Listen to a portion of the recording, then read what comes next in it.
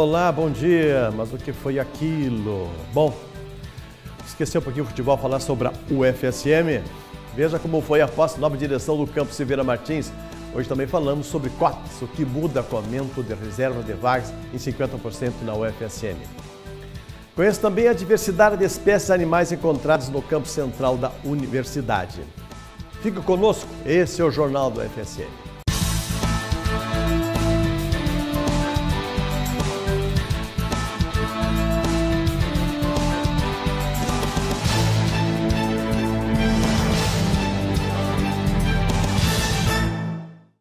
Nesta terça-feira ocorreu a posse dos novos diretores da unidade descentralizada de Silveira Martins, um dos campos da UFSM. Na solenidade que aconteceu em Silveira Martins, o professor José Cardoso Sobrinho foi reconduzido à direção da UDESM em seu segundo mandato. Quem o acompanha nessa gestão como vice é a professora Mônica Elisa Dias Pons e como coordenador administrativo, Ivo Lesbon. O campo está no meio da implantação, está bem no meio. Tanto que me perguntaram por que mais quatro anos, para poder terminar a implantação. Que a gente tem obras inacabadas. Participaram da solenidade o reitor Paulo Burma, o vice-reitor Paulo Baiar, a pró-reitora de gestão de pessoas Neiva Cantarelli e ainda o ex-vice-diretor da UDESM, Rony Blume. Representando a comunidade de Silveira Martins estava o prefeito. Silveira Martins é, tem a honra né, de, de, de, de, ter sediado esta universidade, esse campus da Universidade Federal de Santa Maria, mas de forma estratégica que atende toda a nossa região da Quarta Colônia. O reitor Paulo Burman destacou que a unidade tem passado por dificuldades, mas que é necessário o comprometimento de todos os envolvidos. A dificuldade que nós estamos enfrentando só aumenta esse compromisso nosso de juntar forças entre toda a equipe da Universidade Federal de Santa Maria e do município de Silveira Martins e, região. A unidade descentralizada de Silveira Martins foi criada em 2007, incentivada pelo REUNE, Programa de Reestruturação e Expansão das Universidades. Desde lá, ela oferece cinco cursos. No entanto, já há um entendimento por parte da direção da unidade, bem como da reitoria da UFSM, que é preciso readequar estes cursos, melhorar a infraestrutura, a assistência estudantil e também a questão da mobilidade urbana. Uma das iniciativas destacadas pela administração da UFSM é a parceria com a FGV, Fundação Getúlio Vargas, para pensar em conjunto com o um grupo de trabalho da UFSM estratégias de gestão. O que preocupa efetivamente é qual o perfil que nós precisamos dar para a unidade de Silveira Martins no campo acadêmico.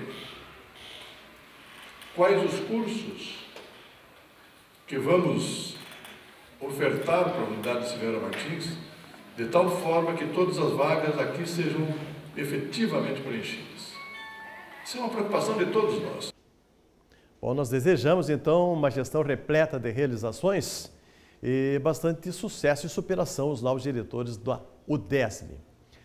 Olha, no dia 13 de julho, na sala da superintendência, foi entregue a primeira versão do Manual de Gerenciamento da Rotina do Serviço de Fisioterapia do USME. Para a chefe do serviço, Ana Lúcia Serve Prado, esse manual resultou do acolhimento por parte toda a equipe de fisioterapeutas e docentes e atender a solicitação de padronizar os procedimentos que dizem respeito às condutas fisioterapêuticas no âmbito do USP. E cada vez, é cada vez mais comum que surjam páginas com ideias criativas no Facebook, principalmente no meio universitário. Estudantes aqui da instituição criaram a página Fauna Campus da UFSM. Bom, o objetivo é mostrar a riqueza dos animais encontrados no local onde algumas vezes passam desapercebidos, né? E lá tem aves, répteis, aranhas, tudo isso figura na página e surpreende aos que olham pela variedade que existe, né? E a nossa equipe conversou com os criadores da página. Olha só a seguir. Eu estou aqui com o Leandro e o Conrado, eles são estudantes aqui do curso de Biologia da UFSM e desde o ano passado, né, eles têm uma página, a página Fauna Campus UFSM. É um trabalho bem interessante que muita gente não conhecia aqui no UFSM, que a UFSM tem uma infinidade né, de, de espécies. Né? Conta pra gente como é que começou essa ideia.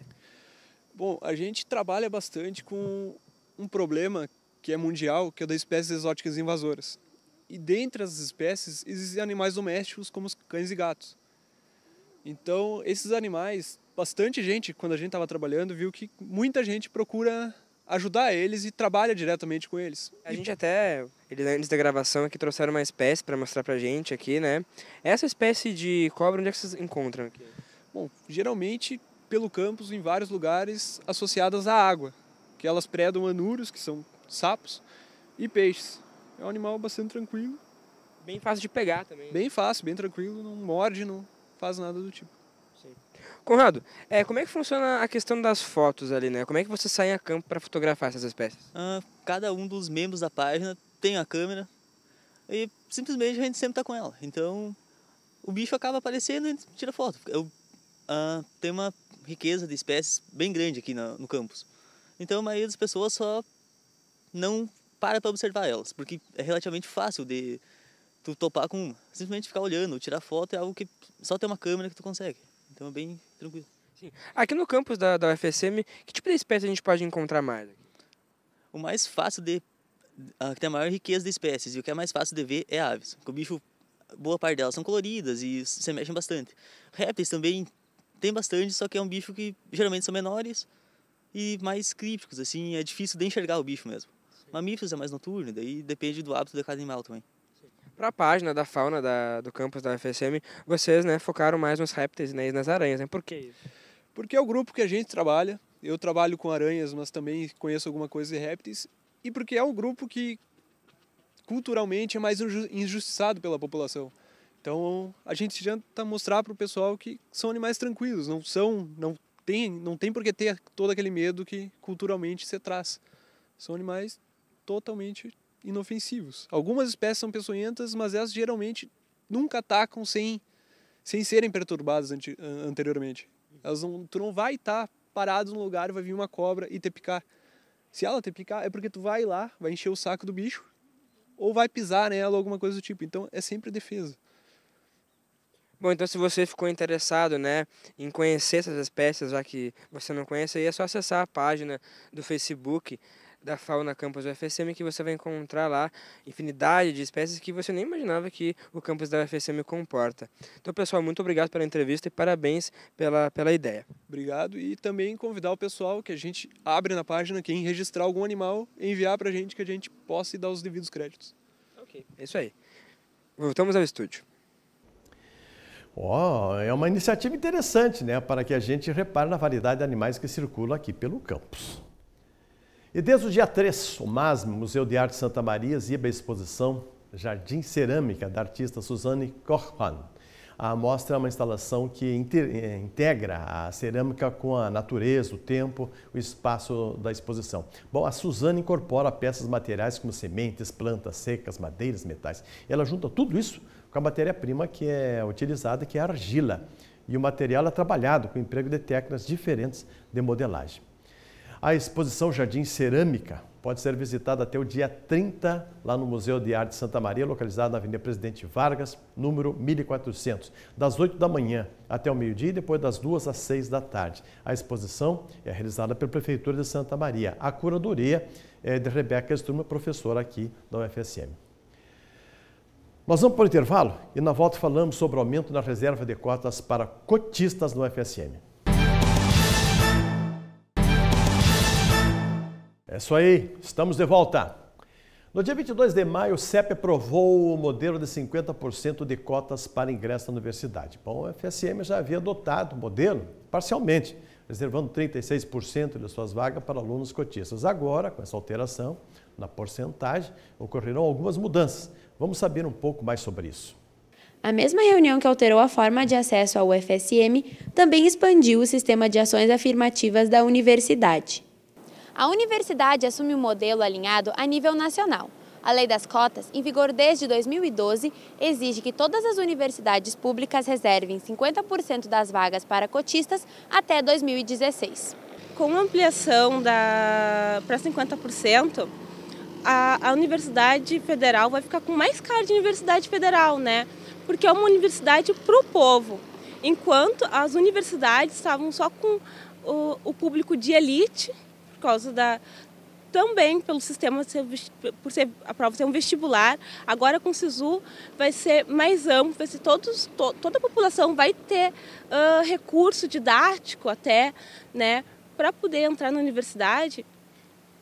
com 50% uh, das cotas, vai estar o, o, a vaga reservada para a população ingressar de fato na universidade.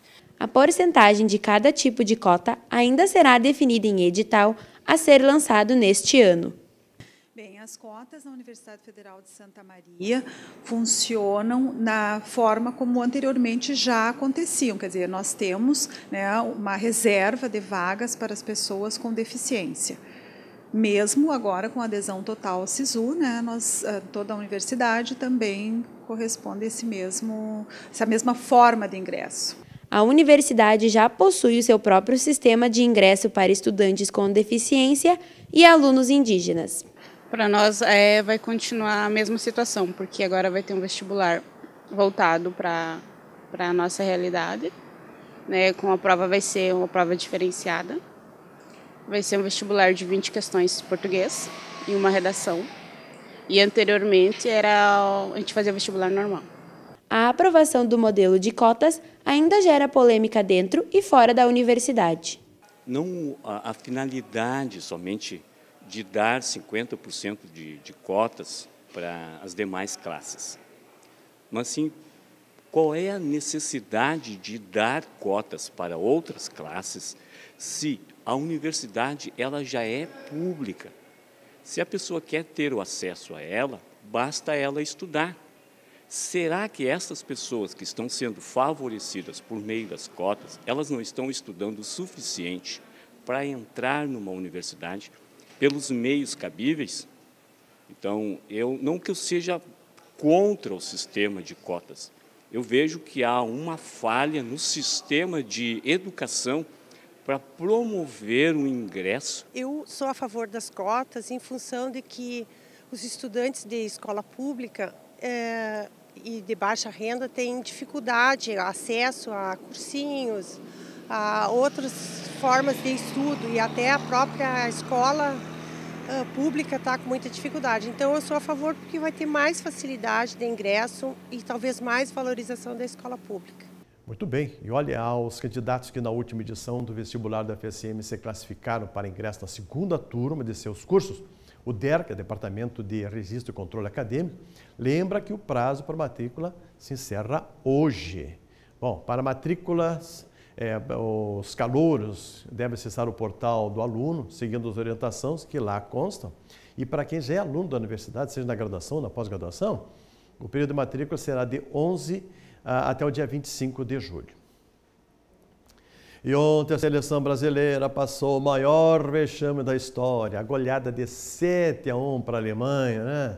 Causou muito embaraço esses alunos que assistiam o jogo da seleção na Prila Center, Laboratório de Análise do Centro Esportivo de Mídia, que é localizado no Centro de Educação Física. Bom, né? Tristeza, indignação, apatia, tudo isso estava estampado no rosto daqueles que acompanharam a partida desastrosa. O gol de Oscar até causou alguma euforia por alguns instantes, mas que fica a lição de que a competência dos nossos jogadores ficou muito aquém do esperado. Agora, né? Tentar aprender com esses erros e, quem sabe, algum dia, lá nas Olimpíadas talvez, recuperarmos esse título aí de país do futebol. Hoje ficamos por aqui. Lembramos que você pode nos assistir também pelo site fsm.br TV Campus. Você também pode enviar sugestões, ideias e matéria para exibirmos aqui no Jornal da FSM. É só mandar um e-mail para tvcampus15.gmail.com ou entrar em contato pelo telefone 3220-8624. Nós voltamos amanhã é, com mais notícias às 11h30 da manhã e reprise às 7h30 da noite. Obrigado, até lá.